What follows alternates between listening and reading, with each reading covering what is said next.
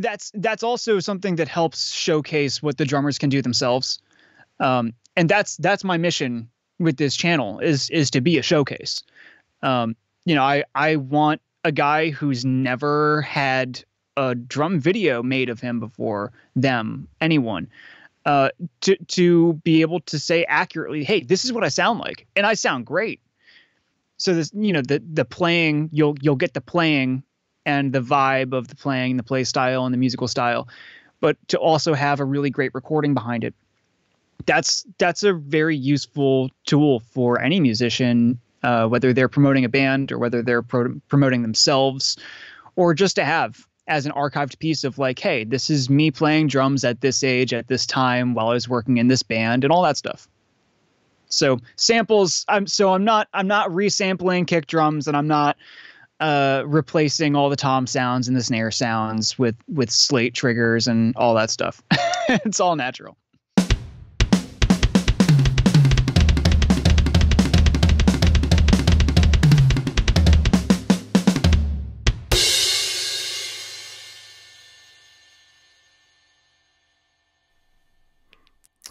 Hey everyone, welcome back to the All Music Matters N'At podcast. I'm your host Bryan, and joining me today is a special guest hailing from Asheville, North Carolina, Dave Kaminsky. How you doing, brother? Doing great, man. Thanks for having me, Bryan. I really appreciate it. Uh, no worries. And uh, this is actually a funny story because uh, my show called the Grip Show. I actually gave your channel a shout out, and uh, you know, at first I thought it was actually a, a group of drummers because some channels I actually found involved like a couple groups of people, for instance. I think there was one Irish group I stumbled across a while back. Mm. So I was thinking this was like a whole group of people, but when I reached out, it turns out you're the one that's just running the channel. Is there anybody else, or is it just you? It is just me, um, and you know, I'm I'm kind of representing the region, uh, Western North Carolina, Asheville area, uh, as best I can with this online presence. Um, but it is just me running the channel. Um, the idea behind this is to promote uh, the drummers of this region. And when I moved here a few years ago, I just kept on meeting drummers, and that's never happened to me uh, anywhere else I've been anywhere uh, where I just I just can't stop meeting more drummers. Turns out there's a ton of awesome bands here. There's just great bands and great drummers and a whole uh, just like a a great um, array of different genres and styles. And as a way, uh, as a way to start promoting my studio and getting myself out there in this new music scene to me, I thought, what better way than to kind of uh, try to raise all the ships, so to speak, in this region, um, and and be a platform, provide a new platform online to to show what these guys are doing here. Absolutely. That's a good thing you're doing too.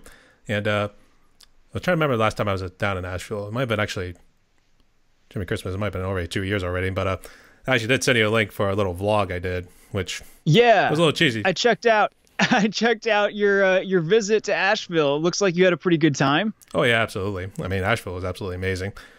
We didn't exactly get to. I kind of wish we saw like more studios, for instance, kind of like uh, how you were able to walk into RCA studios down in Asheville, for instance. so it would have been nice to do something like that, but unfortunately, it was more just like walking around, maybe doing some bar hopping here and there, and seeing people playing their instruments out on the streets. So that's definitely an Asheville thing for sure. Uh, so you got you got that part of the experience definitely. Uh, but it was if that video went up what a, a, year and a half ago or two years ago so that would have been during kind of the height of the pandemic is that right something like that it might have been like yeah 2021 maybe or i don't know if that was actually when we first finally got out of our little bubble because when we first started when the pandemic really started we just stayed kind of closed in only going out yeah. getting groceries and stuff like that but wearing a mask and everything else i don't know if that was our first trip no actually that wasn't our hmm. first trip it might have been our second trip okay now i remember i think our first trip was savannah georgia so Want to make cool. So, want to make sure I got that right. okay, I get my history mixed up here. I moved so I moved here from Connecticut is where I'm like originally from. I moved here in March of 2020. So I came like right when the whole world shut down. Right at the top. And I, I was I'm in this new place that I'd never I've been here to play shows with bands that I was in and stuff like that, and I've come through solo and on tour a few times, but I like was on an island at the start of this global phenomena. Um, so it, you know, I didn't I didn't actually start getting out there myself and seeing my own my own new town until uh, like this past fall is when I started to emerge from my hobbit hole a little bit. Well, I was gonna say, yeah, if you had just moved down right at the height of the pandemic, I would imagine that would be hard thinking, or I was trying to figure out the word, what the wording behind it, or how to get on the ground running, or something like that, or something along those Absolutely. lines. Absolutely. It was really tough. It was really tough to start with, and I mean, I my whole deal. I'm a I'm a recording engineer and producer, and that's number one what I am and I've been playing in bands and working with bands ever since I was 16, 17, 18. I'm 32 now. Um, and I needed to change the scene from Connecticut. I've been all over the country working at different studios and cutting my teeth on various kinds of rock and metal albums and rap projects and jazz records and you name it. We can get into that stuff too. But um, I came here from Connecticut and I had built a pretty successful uh, small business myself, just like recording all the rock and metal bands, mostly around around Connecticut and New England. Okay. And I just needed somewhere somewhere new to go. Um, but I love drums. I love drums number one. Um, as my, it's really genuinely my favorite instrument to record and as the foundation of the music that I love, like rock music and popular instrumentation music. Um, it intersects with my job being an engineer and my love of music kind of perfectly, being that foundation. I see. Well, you are touching you are touching on a little bit of like the first question right there too. So, and uh, on a serious note, are have you been okay? I don't know if Asheville's been hit by the recent tornadoes that have been kind of tearing through Arkansas and Tennessee. Or has North Carolina been okay?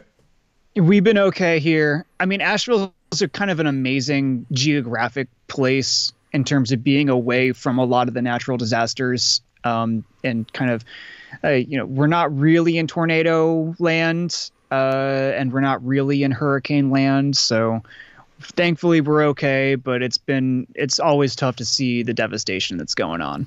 I was say, we don't want to have any of the Dorothy's house flying away and spinning around in a tornado and ended up in the land of Oz or something like that. So. Not today. Not during this interview. That's for sure. And we crash upon the witch wearing the ruby red slippers and be like, oh no, Dave has inherited the red slippers. So there you go. I'm safe today, man. Right. That sounds good. That's good to hear you're okay, man. So, uh, Dave, the way this podcast works is we get to know people more as the individual, but also as the musicians too. So, questions here, gonna tie tie into your story a little bit. So, you have gotten into a little bit of your story, but I guess start with the first one here. Uh, who is Dave Kaminsky, and what made him want to be like, "Hey, mom, I want to be a studio engineer," or uh, or maybe some version of a rock star, something like that? Basically, that's basically how it went.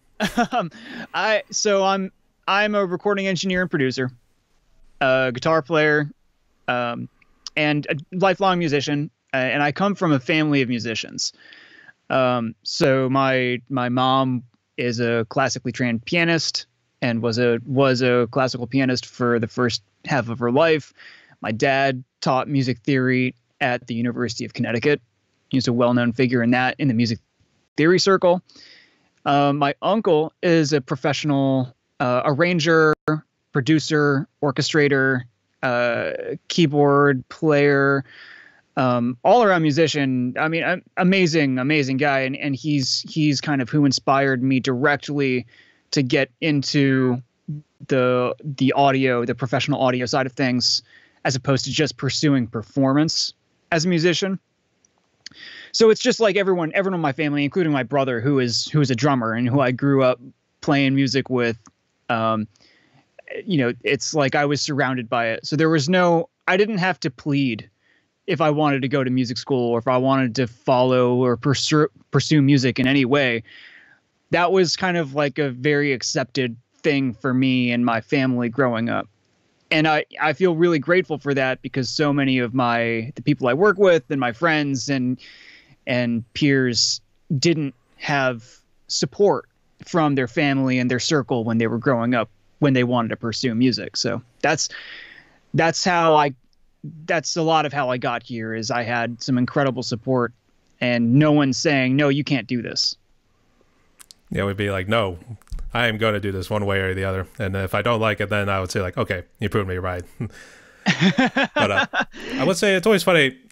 Families who like are very big musically talents, for instance, they always seem to like carry it on to the next generation. So I know that's how it was with me too, because my dad he was never really mm. a hmm. committed play bass player, but he at least played every now and again with one of my uncles, and they goofed around doing like Black Sabbath sort of songs like that, maybe a couple of Springsteen here and there, but they never really took it seriously. They were just goofing around. Really, they did like I think something way back in the day, maybe before they even before I even married my mom. He was probably even doing like shows in the back of my grandmother's house, doing oh awesome doing these little shows and stuff like that. I don't know if he drove the neighbors crazy or where they loved him, that sort of thing.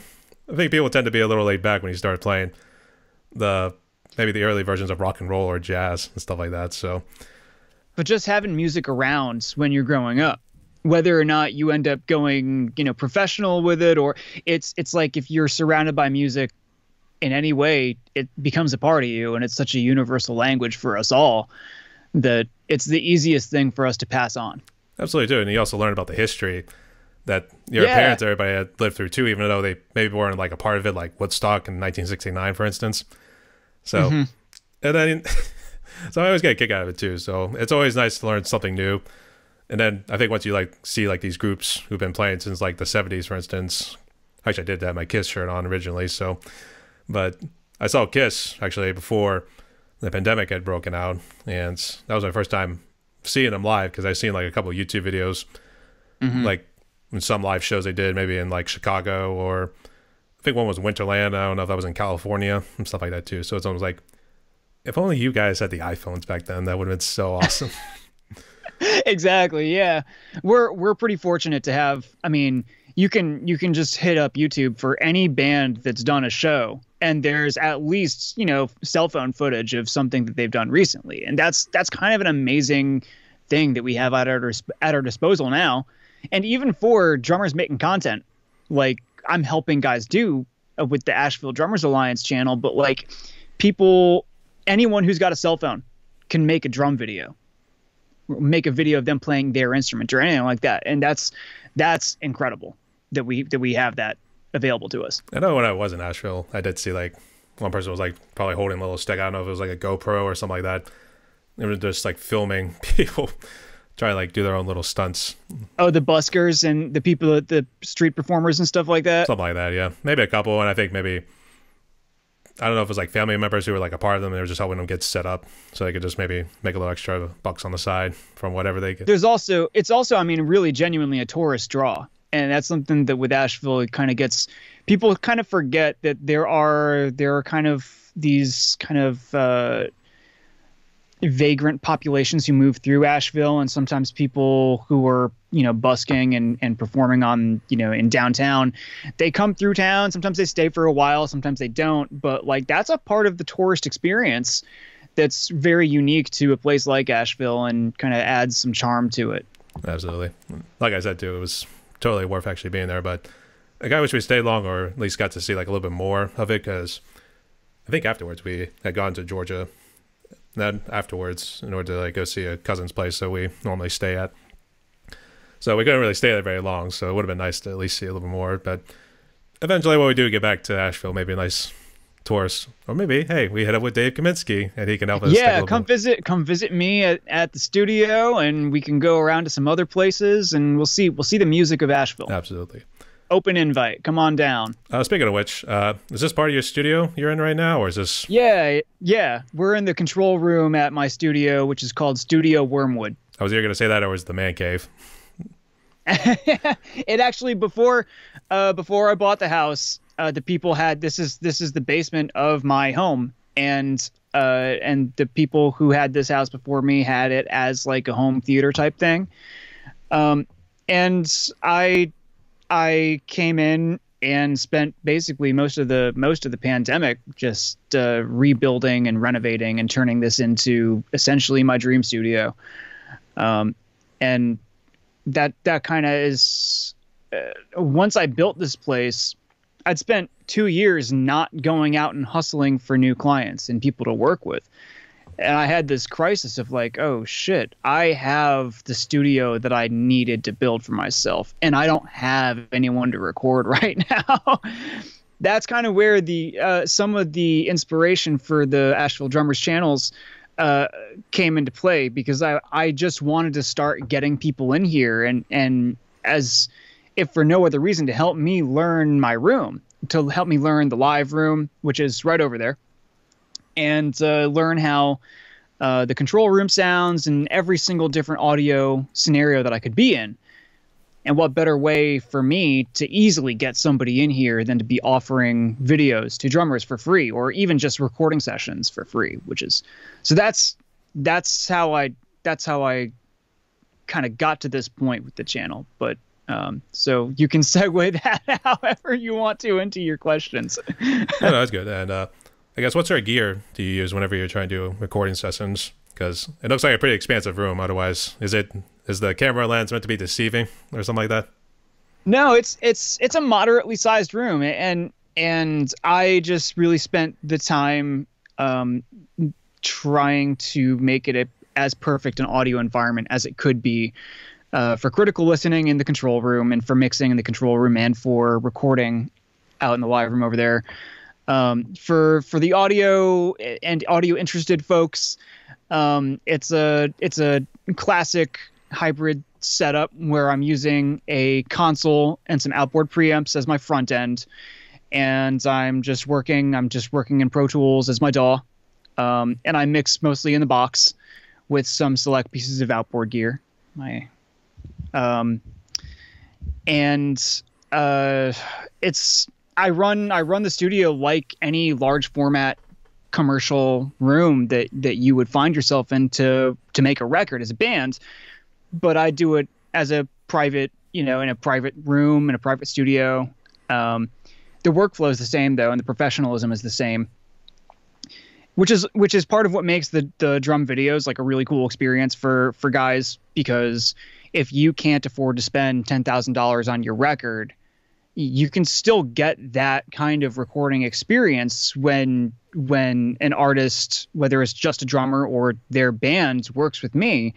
It's just that we don't have the standalone building downtown and we don't have the you know the the kitchen and the lounge for you to you know to enjoy while your other guys are recording and all that stuff.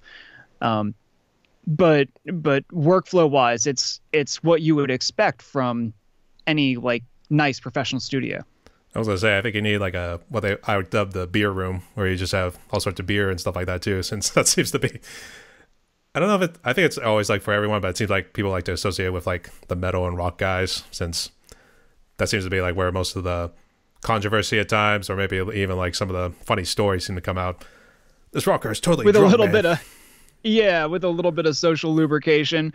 Um, yeah, I, I next on the next renovation, the next the next part of the studio build out, uh, I'll do a lounge with a nice with a with the coffee station and the beer and and you know a little kegerator in there. I'll do the whole and it's perfect for Asheville being kind of beer city, uh, but not quite yet. It's it's stripped down. Um, my focus, whether I'm recording a band's album or whether I'm doing a drum video, is just on cutting right to the bone we are making the best drum sound that we can. We're capturing the best audio and now visuals with the drum videos that we can. Um, and I'm going to mix it to sound what like whatever goals we set for ourselves ahead of the project. Um, so, yeah, I don't have the fancy espresso machine, but you're going to sound fantastic and look good too. I was just thinking, like, if you had, I don't know how the layout of your house is, but regardless, if you had room for like the patio right there, just like call it like yellow Niagara Falls or something like that too. And people like just go over and just start hurling over the patio railing. just be like, don't stand underneath that too. You can certainly take in the view, but don't. Thankfully, it's not a it's it's not a party house. We are we are uh we're it's all studio, all all that all the time. That's good to hear. All right. so I guess uh how many rooms do you have all together? Is it just like one big room, or do you have like a separate room for like the vocalist to go into and like scream into like maybe those little sound boxes that they have right there. Exactly. Yeah. So the studio is broken down into control room where we are, which is where the mixing desk is and cameras above the mixing desk, so I'm kind of looking at my station here. Um, and then directly that way is uh, is the live room. So it's just two adjoining rooms, um, which for anyone who's built a studio knows that that can be problematic for sound leaking through your doorway between the spaces. But um, you know, I've I, I took great pains uh, to do as much uh, sound transmission reducing as possible between the two spaces, um, focusing just on on treating the rooms so that we can capture a really great sound uh, for any instrument right over there in the live room. Um, this, the space sounds great for drums, and if anyone checks out the Asheville Drummers Alliance channel, all the studio videos that are on the channel have been recorded here. So you can get a, a sense of of like what the room sounds like. Um, and something that's important to me i mean whenever i'm recording i try very hard to stay away from using sample augmentation whenever i can. Um, so so far none of the videos have have like any drum samples any replacement or even augmentation like a sample snuck up in there it's just all the natural sound of the of the microphones and of this room which i'm really happy about I was say, yeah, I don't think you want to switch out the original audio just to like fill in something that's like filler noise, just to like appease your audience. You want to like give them the real deal. That's something I do. Say, yeah, something along those lines. That's that's also something that helps showcase what the drummers can do themselves, um, and that's that's my mission with this channel is is to be a showcase. Um, you know, I I want a guy who's never had a drum video made of him before them anyone uh, to to be able to say accurately, hey, this is what I sound like, and I sound great. So this, you know, the the playing, you'll you'll get the playing and the vibe of the playing, the play style, and the musical style, but to also have a really great recording behind it. That's that's a very useful tool for any musician, uh, whether they're promoting a band or whether they're pro- promoting themselves, or just to have as an archived piece of like, hey, this is me playing drums at this age, at this time, while I was working in this band, and all that stuff. So samples. I'm so I'm not I'm not resampling kick drums, and I'm not uh, replacing all the tom sounds and the snare sounds with with slate triggers and all that stuff. it's all natural. I was literally taking it all in, and the first thing that popped in my head was, "Did you ever see the movie Pulp Fiction?" Oh, of course. Big Tarantino fan. Did you? Uh, I always love the wallet. It's the one that says "bad motherfucker" on it. Yeah. So yeah. That's what. I, I've only that was probably not like a trademark or something. I would say just like sell something like that and whenever someone shows up on your channel too. That's a good tag. Yeah. It would be nice. And yeah. and uh, we're big fans of we're big fans of Quentin over here. Yeah, absolutely. Yeah, he's a, he's an amazing director too. In fact, uh, I know Reservoir Dogs. I think was his intro to the Hollywood scene, and, and then Pulp Fiction was right after that.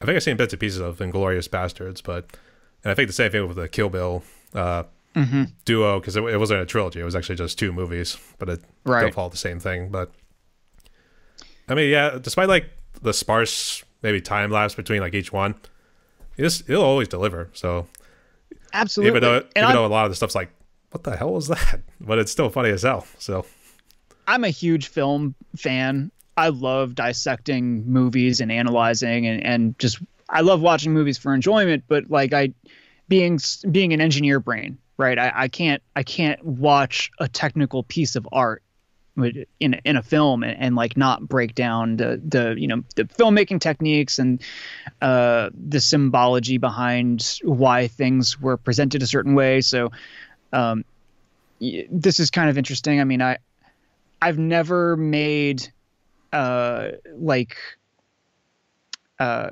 sh- short movies or done any kind of filmmaking before. I've never really messed with cameras before I started doing the videos with the drummers. But I've always wanted to. I've always wanted to get into that and understand like the differences between audio editing workflow and video editing workflow. So this project has been amazing for me because it's gotten it's allowed me a really easy way in to video production. Um, it's you know I never I never did any video editing before this, and now I'm like whizzing around DaVinci Resolve and like not doing anything fancy, but feeling proficient in in the simple things that I'm doing, and it's scratching a, a personal itch from a creative standpoint where I've only worked on in audio and music, and now I get to delve into video while still incorporating you know my strengths as an audio engineer. Um, so I'm I'm thrilled about having that opportunity now. Absolutely, now it allows you to kind of combine two things you love together too. So that's always amazing. Yeah. But I guess uh, since you have been touching on your YouTube channel a little bit, and it seems like you started it during the height of the pandemic too. Let's try to mold these two questions together too. So, I guess uh, since you did say you did start your YouTube channel about 2020, I guess uh, what was it you hoped to achieve at the time? I actually started the YouTube. The yeah, the Asheville Drummers channel is only like four months old. This I started. I think I posted the first one. Um, shit, back in uh, in January of this year of 23 now. Um, and the idea, I mean, I really only had the idea to start doing this in like November of this past year of 22. Um, so the the inspiration I, I, touched on it a little bit before was like I needed a way to introduce myself to this region's musicians, um, you know, and socially and musically, uh, it's just a different part of the world than in New England where I came from, and where I built my my business there originally, where I where I built relationships and connections over years being there, right? So I'm in this new place, and I, you know, I think it's important, at least financially, to not just take from a place that you're trying to endear yourself to and make a real lasting impact and build real relationships in. Um, so just before I even got into like, you know, investing in cameras and and shooting videos, I was thinking like, let me just provide a free a free service. Like, let me get in, offer people free sessions, right? Um, but then to make it really worthwhile, so I wasn't devaluing de- devaluing my studio services, I wanted to provide something new, and that's where the the inspiration for the video side of this comes in. Um, so I started reaching out to all the drummers that I had met that since I'd I'd moved here, and at first it was like 10, 10 messages to ten different drummers. Um, and I immediately got a bunch of video sessions scheduled really easily because, like, turns out people love recording and not having to pay for it. like, that's great. And it's important to me to be able to give to give something back to this place, um, and and not just feel like I'm taking artists' money, which, you know, times are tough for almost everybody right now, and I I don't want to be that guy that doesn't recognize that um, especially coming into a new place. So, how I've been doing this is I just offer I'll shoot a drum video for you for free, and uh, and I'll edit it, and it goes up on the channel on the Asheville Drummers Alliance YouTube channel. We'll promote it on Instagram and Facebook, and the bands will cross promote themselves, and they everybody promotes that video together, and and uh, together we can kind of raise the profile of this region's music um, this region's drummers specifically. Um, make some really cool content and hopefully show show people from outside of Asheville that this is a great place to come make a record. This is a great region to come visit. Uh, this is a great place to come and play on tour. All that stuff. Yeah, I think when you do start off with like any sort of project, really, it seems like you have to like either do it for free or you gotta like keep the price like real low. So it's always like that store five or below. I don't know if they have like a store like that down in the uh, North Carolina, but it's kind of like the Dollar General or the dollar store. And basically now they say like five or below. So basically, you know, those things are priced. exactly. So it's, it's, sort of along those lines. And uh, I did actually figure the term hit the ground running. That's what I wanted to say earlier too. But but uh, but that's pretty much what you had to go through when you moved from Connecticut down to Asheville during the height of pandemic. So I guess how bad did yeah. COVID impact you and your family? Um, it was it was not easy, man. Uh, you know, I, I I took I took the pandemic pretty seriously myself, and without comparing to how anyone else addressed the situation, because it's different for everybody. Um, I just I hunkered down for for about two plus years, two almost and a half years, from March until genuinely about like September of this past year uh, two and a half years, um, of not going out, not seeing concerts, and not doing the kinds of things, uh, the networking things that I that I would normally think to do um, to introduce myself to a new place, a new city. Um, you know, and I I got sick for the first time uh, with COVID this past summer, and it screwed me up pretty good. Uh, and you know, and it's not a unique story. There's almost everybody has has gotten sick with this thing at least once, and you know, I I've had it twice now in a span of six months. It's not fun at all. Um, and it definitely it's definitely a thought on my mind when I go out and see music. You know, what kind of calculated risk are are we taking by just kind of trying to move on at this point? Um, but when I first moved here, like I I bought this house, I didn't think I was going to build a studio into it. I had no idea that any of this was going to unfold over the over the next two years. Um, once it turned out that the world was really shutting down in March of 2020, um, that's that's kind of when I had to pivot from what I was in. I, w- I thought I would like Airbnb the upstairs of this house and live downstairs and like have a little laptop mix rig and just work remotely. Um, I had no intentions of building like a great studio here myself until I like didn't want to host people, you know, tourists during during the height of the thing. Um, so so that's that's kind of where what brought me here now three years later is like I I just had to immediately pivot once I got into this place. Um, I was just here with like there's no shows, there's no music, there's no like I can't go out and network. like I, what I had no idea what to do. Um, so I just kind of started knocking down walls. well, I guess what'd you do for the two years in order to like keep yourself afloat? Well, thankfully, you know, there were so many projects like the world just kind of ground to a halt, and and that didn't necessarily grind all of the existing projects in um, th- that were that had already started or kind of been in the works. All of those things were still ongoing. So um, I had I had about a year and a half of somewhat pretty consistent work, uh, starting with like the late spring of 2020, that was like already kind of in in the works, like it was planned. Um, so that that got me through most of those first two years. Then it started to to to lean out a little bit, um, as uh, as I think the world kind of began to move on in 2020, uh, 22, this past year, um, is when I started to realize I wasn't just going to be able to live off of off of like old old connections and and past clients and and former work. Um, I was going to have to really like like pound the pavement locally and and make an impact where I am now. So that was another paradigm shift of like the next phase of figuring this whole thing out. Uh, and I'm really fortunate to all the bands that have have uh, chosen to work with me during through during that time. I drove I drove up I I did records in Connecticut. Uh, I drove from here to the Northeast again to go work with bands up there. Um, I did a record in Los Angeles during the pandemic. I drove all the way out there.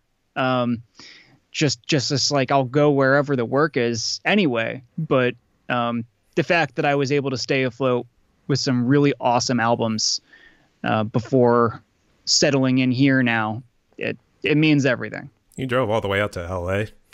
Oh hell yeah! Oh my gosh, it's cool. I'm a road trip guy anyway. I'd say as much as cool as it is, I have a hard time just like sitting down for like. I know you take like little breaks here and there, but even still, like sitting down for eight to ten hours has always been really a pain for me. So I imagine you had to like what stop twice to like stay overnight and stuff like that.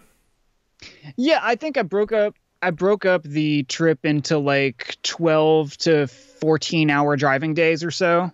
Um, so I did Asheville to Little Rock, Arkansas, then Little Rock all the way. Oh shit, I did Little Rock all the way to Santa Fe, New Mexico. that was that was probably 15 hours or so driving, and then Santa Fe to L.A. Um, and I did it again in three days on the way back, uh, on the way back home.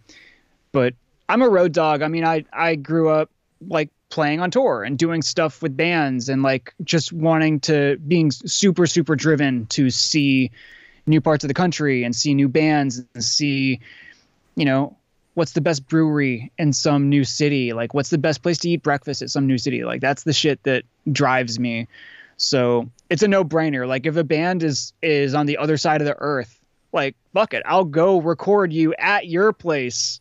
I can't wait to travel there. Like anywhere i'll go. I don't care. You know as much as i do love traveling too i'd say just the fact of sitting in the car for those extensive amount of hours always drove me and my parents crazy to be honest. But I guess the fit was the airfare not very good during that time, or was it still like kind of strict about the whole COVID policy? Actually, to be honest with you, man, I just didn't feel comfortable flying. I didn't want to be on, you know, a Asheville to LA flight with two changeovers. Um, especially considering that, like, you know, studio time is so like okay i'm a outside producer coming to do a record in los angeles we've booked the studio time six months in advance right if i got covid on the way right you know in a in a place you know like in an airport i wouldn't be able to forgive myself for like missing the sessions and having to scramble and figuring out new accommodations and all that stuff. And like that's that's band's money that i just wasted by getting sick myself. So for me, you know, being, you know, having a having a supportive partner who like doesn't mind that I hop in the car and drive to California when I need to, um, and wanting to do that myself and being able to do that myself physically and mentally, um, yeah, it's just kind of a no brainer. Uh, to it was a no brainer at least then to reduce the risk um, of getting sick and screwing up the time. Well, you are indeed a trooper. I will give you that. So dedicated on a lot of levels. Yeah. You know, I was actually thinking the other questions. Uh, I guess uh, let's jump right into the two instruments you did mention you do play. So, which one do you love most, the drums or the guitar? Um, outside of the name that's, of the channel. That's a really good question. That's a really good question because I don't really play drums. Um, you know, my I grew up playing guitar, and my brother, who's four years younger than me, is the drummer in the family, and we were, you know, from the time that he was like nine years old, and I was twelve or so, 12, 13, uh, we were we were playing or trying to play our favorite metal band's songs, and um, I've just always gravitated to drums. I just didn't want to play them because I, you know, it, it never it never felt like that's what I should be doing myself but as a as a I had to start recording our you know I had to start recording our bands when we were writing music for the first time. And that's when I fell in love with recording the drums and understanding the drums as an instrument, understanding what each drum itself does in the scheme of the instrument as a whole and ways to manipulate the sound to better articulate what you're doing, what you what you're trying to say musically. Like that's the stuff that really um, started to pique my interest as a young person, as an adolescent musician. And guitar was always there. Uh, I spent I spent you know six to eight hours a day for you know my high school, my middle school and high school years, just trying to shred like Alexi Laiho, you know, and my favorite heavy metal guitar players at the time. I just wanted to sweep pick all damn day. and I did. I sat in my room and I sweep picked all day. um, and guitar was always kind of like a little bit of a labor of love. It's a complicated, I think a lot of people who play guitar have this relationship with the instrument where like you write music because you need to. Like you need to get those emotions out of you and those feelings. You need to say those things melodically, right? But it may not always be like a love affair with the instrument. With drums, because I don't play them. Like I don't I'm not a drummer. I have a drum a studio kit that I mess around with and enjoy playing sometimes, but like I'm not a guy that can say I'm a drummer. But I have a I have a lifelong love affair with the drums. and that's a it's a cool it's a cool distinction because like I don't have to come home to play drums. I don't have to like that's not my my musical home. That's like my musical mistress almost. I was just picturing too, like whatever you said at fair too. I feel like the guitar just walks in, you're playing on the drums, and be like, David, what are you doing? We're breaking up right now. I'm leaving you. Goodbye. that sort of thing. But I guess uh, what sort of a brand are your guitar and a drum set? I know you said it's a studio set for the drums, but uh, what kind of brand yeah. is it? Yeah. Let's talk about let's talk about the drums. Yeah. Um, so I've got for the studio, I got a, a Yamaha Stage Custom Birch. It's like one of the most widely sold drum sets, and so many people have them, but they're just awesome shells. They're just great drum shells. Um, it's just the standard, what, 22 kick, uh, 10, 12, 16 tom pack. Um, and as an all purpose shell pack for the studio, uh, is something that I can always whip out and say, hey, mine sound great if you don't want to use yours. That was kind of a no brainer. Um, you know, maybe not the very best sounding drum shells ever to be made, but with a good with a good head and some nice tuning and in a good space, like they'll always just sound good. Um, so that's what I got for the studio, and I also I've got a, a set of um, Zildjian K Sweet cymbals that I got for the studio as well, which again are just like really good all-purpose cymbals. They record well. They are totally good in a live situation. They're bright without being harsh, which are all things that I look for in cymbals. Um, and I don't know. I, I just I I love if I could spend a thousand dollars a month on drums, I totally would. Yeah, just, I was spend a thousand a month on drums, man.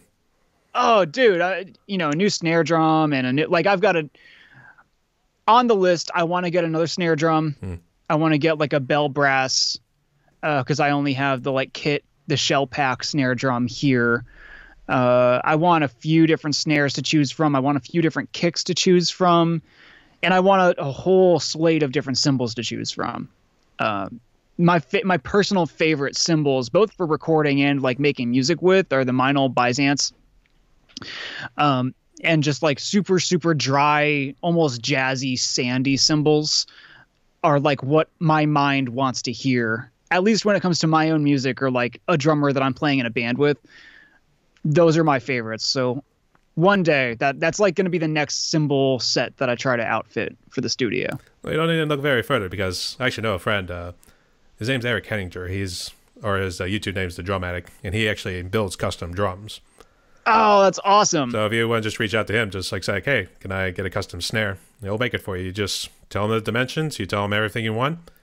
He'll make it happen for you that's super cool and that actually i want to talk about this for a second um, one of the future projects that that i'll be doing with the asheville drummers alliance channel is i'm going to start getting into uh, kind of broaching the almost documentary style um, filmmaking uh, there's a drum there's a great drummer here in asheville uh, named alex tolini and he is a drum builder himself but he also is a guitar luthier he works for an Asheville based guitar company called Illuminati Guitars.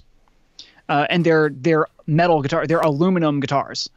Um, so he's he's on both sides of the instrument building coin. Um, but he and I've talked a lot about you know he he builds drums he builds custom drums, and it's something that he's super passionate about. So f- something that that you know for the channel going forward, sometime happening this spring, we're going to start filming uh, the the drum journey, like what what happens along the journey of a drum from from uh, beginning to end of its life, like how we build this in every stage. So that's that's a thing uh, to to look forward to on the on the channel. You know, I've actually been thinking of doing somewhat of a documentary series too. That's actually what that little vlog I sent you was kind of yeah. was kind of meant to be at first. And like I said, it was cheesy because I we didn't really play it out too well. In fact, that was me not doing a very good job because I think I was just happy to finally get out of the house, just go out and start traveling all over the place. So totally.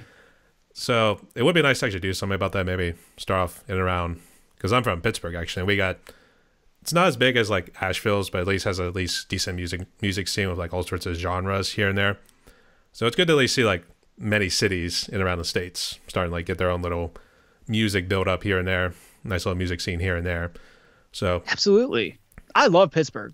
I'm a huge fan of Pittsburgh, and, and I visited my girlfriend and I visited Pittsburgh last summer, and it, it was the first time that that I'd been to Pitt uh, since man, like maybe 2018. Um, and I've spent a good amount of time around the city getting to know the music and the food and the beer and just like the culture of the place. And I fell in love with it again. It's just an awesome place. And there's tons of great music happening in Pittsburgh. Like, I is that where you live currently? Is that where you're from right now? Born and raised. I've been here for oh, a good awesome. while.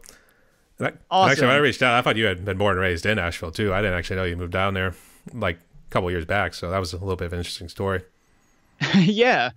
Well, you know, life life takes us uh, many interesting places, and you can never really predict where you know how it'll go. But I, I'll at least for me, I'll speak for myself. Like I, that's how I've set up my life is to kind of go where I need to and uh, you know try a whole bunch of different places out. But I'm really excited to be where I am. I'm also always excited to go travel somewhere, a city I've been to before or somewhere I've never been, and go see some new stuff. I actually started doing like little travel vlogs because that this is actually stuff I meant to tie in earlier, but I was in Nashville a couple months back, and that was actually the first time I actually got COVID on the way back from the trip. Oh no! So I, I was actually in Nashville for a little bit. I'm trying not to get the two mixed up because it's really just a one syllable difference. Nashville and Tennessee. That Nashville, one, right? Nashville, Tennessee. Yes. Okay. So also a great town. Oh, absolutely. I've got I love Nashville. Did you go and do like what kind of stuff did you do while you were out there? Outside of bar hopping on Broadway, a couple of nights. Uh, we actually went to Johnny Cash Museum. We went to the Country Music Hall of Fame. Uh, I think I'm always pronouncing the studio wrong, so please, nobody. I, I always like to pronounce it RCA Studios. That's where many of the big artists had come in together. Yeah.